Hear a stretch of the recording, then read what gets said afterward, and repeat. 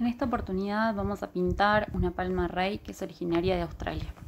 Para eso voy a comenzar en principio con un amarillo de cadmio eh, limón, un amarillo limón de cadmio, perdón. Y voy a determinar las zonas de luz de mi hoja de palmera.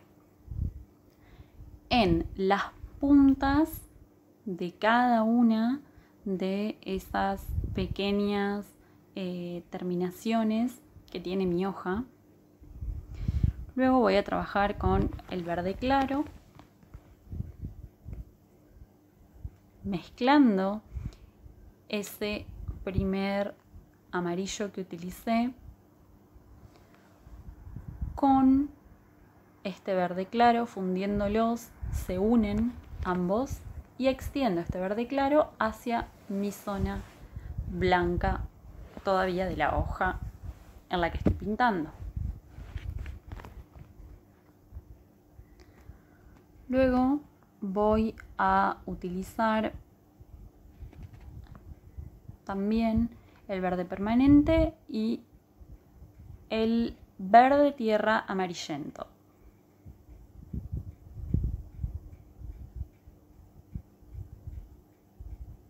Primero este verde tierra amarillento que aplico hacia la nervadura central y levanto la presión del lápiz cuando voy a unir este tono con el verde claro que utilicé anteriormente para lograr así que los mismos se fundan de forma perfecta. ¿Ven? En esa zona levanto la presión de mi lápiz y pinto sobre el verde claro. Lo mismo en esta zona, en donde antes ya trabajé con el verde claro y con el amarillo limón de cadmio. No desaparezco ningún color, sino que los voy resaltando y voy logrando un degradé entre los distintos tonos que voy a utilizar.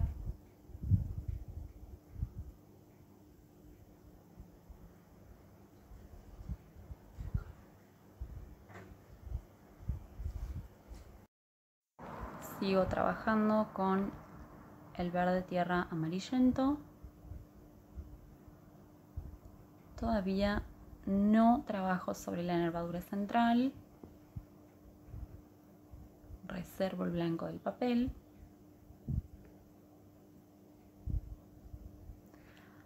Ahora con el verde permanente lo que hago es dar una capa muy suave sobre los tonos con los que trabajé antes para así fundirlos, intensificarlos y lograr amalgamarlos. De esa manera y haciendo muy poca presión con este lápiz porque es un color muy intenso.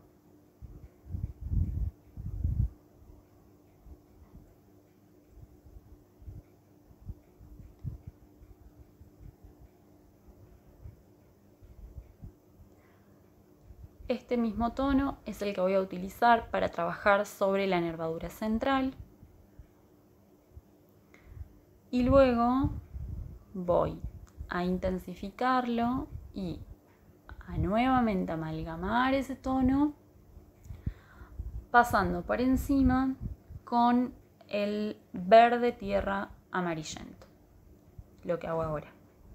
Verde permanente y este otro verde que recién les nombraba. Así finalizamos esta hoja de palmera rey.